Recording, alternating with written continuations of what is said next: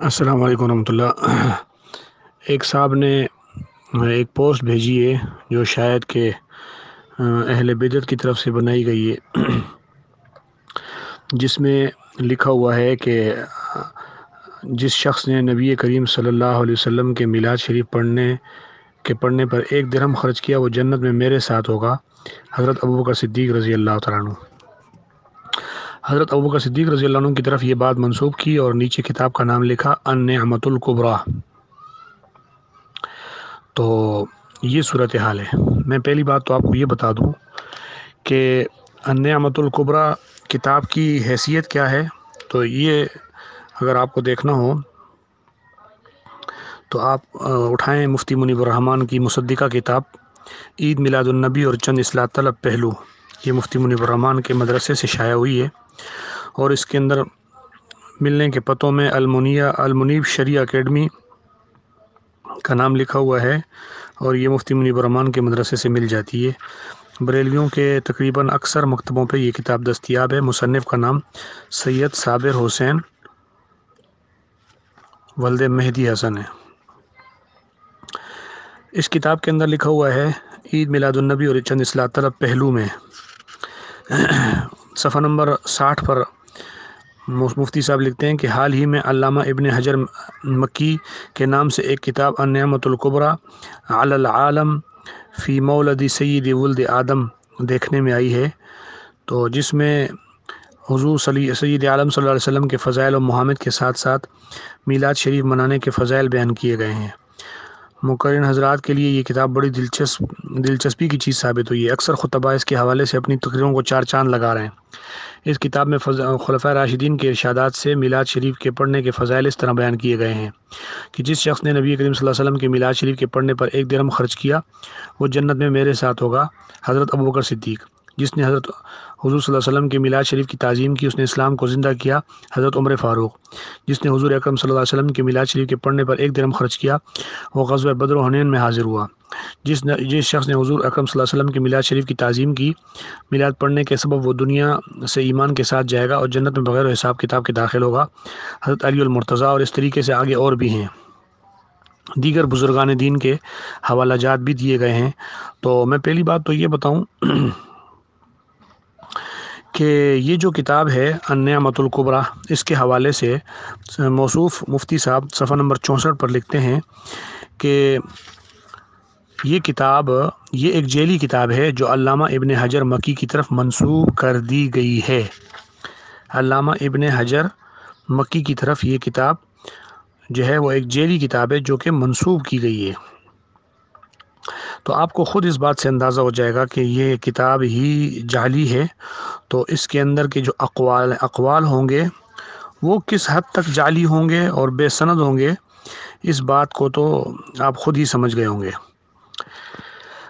अब यहाँ पर अन्यमतुल्कुबरा के हवाले से ये पोस्ट में भी और बयानात और तकरीरों में, जैसा कि मुफ्ती मुनी बुरमान साहब कह रहे हैं और इस किताब में भी और दीगर किताबों में भी ये लिखा हुआ है कि अन्य मतुल्कुबरा में ये लिखा हुआ है और ये लिखा हुआ है। पहली बात तो ये बताऊँ आपको कि मुफ्ती मुनी बरमान साहब के बकौल अन्य मतुल्कुबरा एक जाली किताब है। मतलब इसको अपनी तरफ़ से बनाया गया है। किताब ही सिरे से मुसनफ़ की नहीं है मन गढ़ किताब है। ये जेल साज़ों ने बनाया है। और, बिदतियों की तरफ़ से जेल साजी तो चूँकि अरूज को पहुँची हुई है और वो जेल साजी में पीएचडी किए हुए हैं, महारत महारत तामा उनको हासिल है। अगर उनको कहा जाए कि वो जाली और जालसाजी के इंजीनियर हैं, अगर उनको कहा जाए कि वो जालसाज, जालसाजी के जो है वो वज़ी अजम हैं, अगर उनको कहा जाए कि वो जालसाजी में इमाम हैं, इमाम वक्त हैं तो ये बात बिल्कुल भी गलत नहीं है। ये किताब अनमतुल्कुबरा हैरान कन बात यह कि मुफ्ती साहब तो इसको जाली किताब करार दे रहे हैं, लेकिन यही किताब ख़ुद बरेलियों के मकतबों से मुसलसल उर्दू तर्जमे के साथ शाया हो रही है। हमारे पास अन्यामतुल्कुबरा का नुस्खा मौजूद है। आप भी चले जाएँ तो बरेली मकतबों पे आपको ये किताब अन्यामतुल्कुबरा बहुत आसानी से मिल जाएगी। एक जाली और मन घड़त किताब, इतनी आसानी से इनके मकतबों में मिल जाती है और उसको छाप दिया जाता है। तो ये सूरत हाल तो इनकी आप मसलकी और मजहबी पस्ती देख लें, आपको अंदाज़ा हो जाएगा।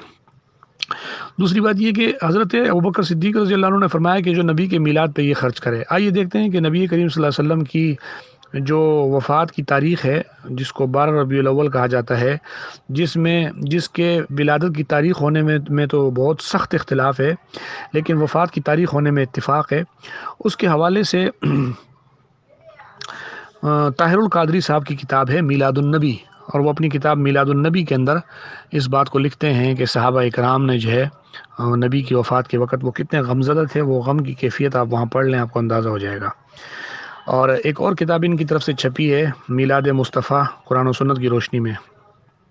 इसके अंदर चंद रसायल हैं तो उनमें हज़रत वो सिद्दीक रज़ी की कैफियत लिखी हुई है कि वो वफ़ात के वक्त उनकी क्या कैफियत थी।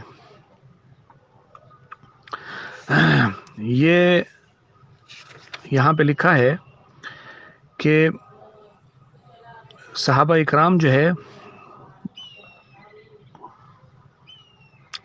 सहाबा इकराम जो है, उन्होंने नबी करीम सल्लल्लाहु अलैहि वसल्लम की वफ़ात की तारीख़ों में, यानी बारह रबी अव्वल या रबी अव्वल में क्या है तो वो कहते हैं कि साहबा ने बाद वफ़ात, मीलाद क्यों नहीं मनाया, इसका जवाब वो कह रहे हैं।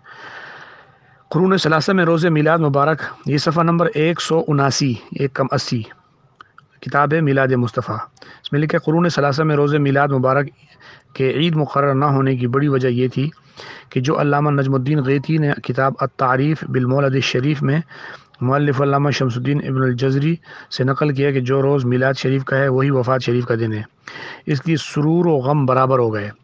अगर गौर किया जाए तो उन शेफ्तगान जमाल नबी पर वो रोज़ ऐसी मुसीबत और मातम का था कि जिसका बयान नहीं हो सकता।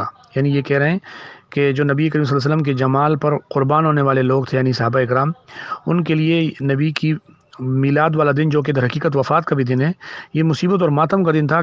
ऐसा दिन था कि इसको बयान नहीं किया जा सकता। इसमें लिखे चुनाच बुखारी शरीफ में है कि उस ज़माने में इतफ़ाक़न सिद्दीक अकबर रज़िल्लानु और अब्बास का गुज़र अनसार की किसी मजलिस पर हुआ। देखा कि वो सब ज़ारो ज़ार रो रहे हैं। उसका सबब दरियाफ़्त किया। अहले मजलिस ने कहा कि हमें हज़रत नबी करीम वसल्लम की मजलिसें याद आती हैं कि जिनमें हज़रत के साथ हम लोग बैठते थे। अब क़राइन से मालूम हो रहा है कि वो दिन आ गए कि हम लोग इस दौलत उज़मा और फ़ैज़ान मुसाहबत से महरूम हो जाएँ। तो यहाँ पे भी लिखा हुआ है कि सहाबा इकराम कितने गमगीन थे।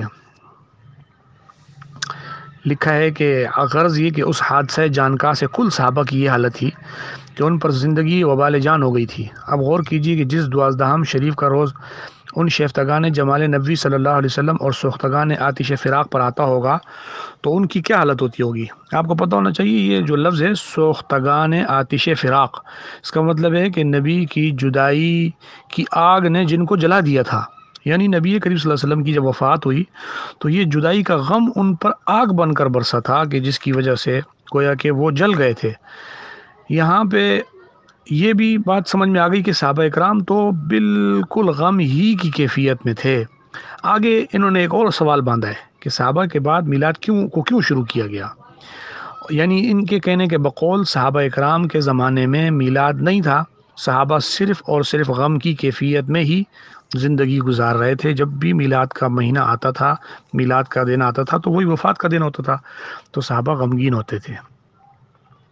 अब जब ये बात आपको पता चल चुकी है और कादरी की आप मिलादुलनबी उठा के देखें तो वहाँ पे भी ये बात लिखी हुई है कि साहब कराम पर गम की कैफियत होती थी और साहबा के बाद ताबेन पर भी गम की कैफियत थी, तब ताबेन पर भी गम की कैफियत थी। तीन ज़मानों में, किसी ज़माने में भी साहब कराम से ताबेन से, तब ताबेन से मिलाद का मुरवजा अंदाज तो दूर की बात है। मिलाद की कोई मखसूस कैफियत भी मौजूद नहीं थी, बल्कि गम ही गम नज़र आता है।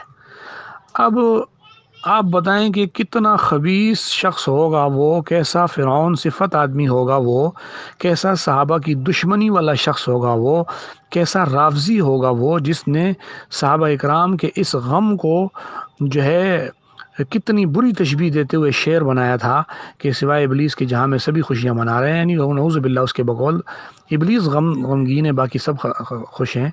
यानी कितना इबलीस सिफत आदमी है वो जिसने ये शेर बनाया साहबा इकराम की गुस्ताखी पर महमूल करके कि वो, गोया साहबा इकराम गमगीन थे तो ये कहता है कि ये इबलीस है नौज़बिल्ला मिनजालिक इतनी बड़ी गुस्ताखी, इतनी बड़ी बदमाशी। अल्लाह रब्ज़त से दुआ है, अल्लाह इनको हिदायत अदा फरमाए और अहल बिदत को अक्ल और होश अता फरमाए कि जिससे वो समझें कि वो कितनी बुरी रविश पे चल रहे हैं।